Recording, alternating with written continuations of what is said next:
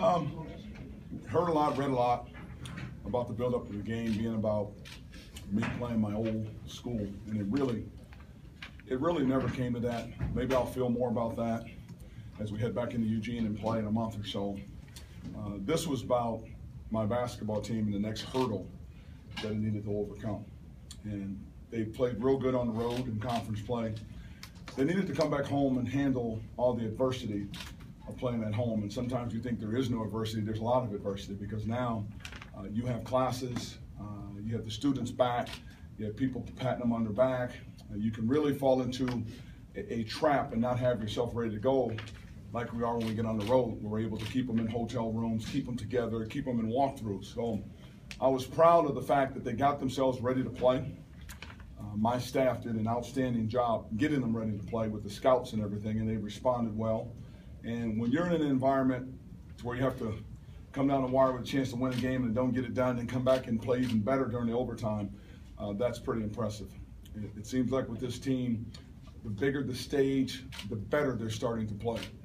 And if that building continues to be on fire like that, with the students coming back and the energy they provided, the energy that came from that community sitting behind my back, there's so much more basketball in us. And you've seen a team that is really, really growing up before your eyes. It's Washington State's basketball team. Uh, it is a joy and an honor and a privilege to coach them because that's an excellent group of young men down there that have really bought in uh, to what we need for them to do. We have time for like five questions. So. I thought I answered them all. That's why I do it. I try to answer every. What else could you possibly ask? Now?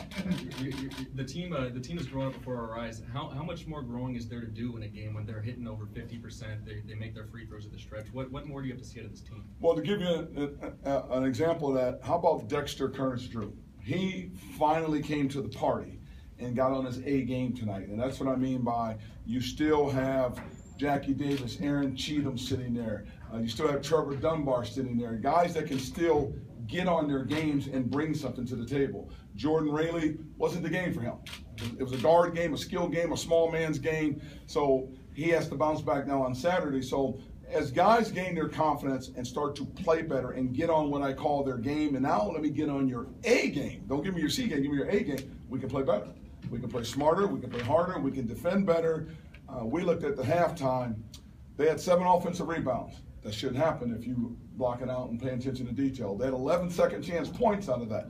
That should not happen. And their bigs were driving us too much. That should not happen. So that's growth potential there to understand how you stay accountable possession by possession in a 40 minute game to know your job and do your job. Usually that's your juniors and your senior teams that can do that the butlers of old uh, that are seniors that really can grind you out. This team is young and they make mistakes. And those mistakes against a good team or a good player like Young, they make you pay. So when you talk about growth, we can get so much more mentally tougher to understand the grind of a 40-minute basketball game, which is in essence, it's a miniature version of a season to where you handle all the ebbs and flows of the game. Ernie, when you look forward to Saturday, there's recruits from other sports coming in. It's a weekend, so more people can get down to the game. How big is a game like that this Saturday for not just the basketball team, but the athletic department in the city? I think it's, it's, it's huge. Anytime any of your programs have success, you know, our, our, soccer team going to the tournament and their success, women's basketball got off to a tremendous start, their success, in anything. If our cheerleaders go back and win nationals, all of that's great because all of that does, it puts Washington State out in the front. And when you can do that, you can go now recruit more. Your stage just gets bigger. So for us on Saturday, you know, things fall in line. We're no worse than third coming out of Saturday, but you can come out of Saturday in, in first place possibly if things fall in line. And You're talking about a team going from worst to first in 10 months. That's pretty amazing to me. And that's a credit to my staff, and that's a credit to those young men in that locker room and how they bought in to what we need for them to do to be successful. That's pretty impressive. It's hard to do, in fact. How about Ike off the ball? Kind of blossomed his game a little bit, but with the way he's passing right now, is there any thought to moving him back into that role? Nope, he's passing so well because he's off the ball. So what we've done is freed him up. And when you free him up, you can bring him back. But a lot of what Ike is doing is in transition where we get out and run. So I like the fact that we can play him and I together. It makes us faster, quicker. It gives them an opportunity to start the, us to start the game really fast with him on the wing, and then you bring him back to the ball. So in essence, he's learning how to play better being off the ball so that when we bring him back, he's sharper and crisper in terms of understanding what he needs to do for us to be successful. Last question. How about uh, how about Brett playing probably the best game of his career so far? How many minutes Brett played tonight? Thirty. 30. Now think about that. He played 31 at Washington and 30 tonight. And a guy that was buried on the bench last year.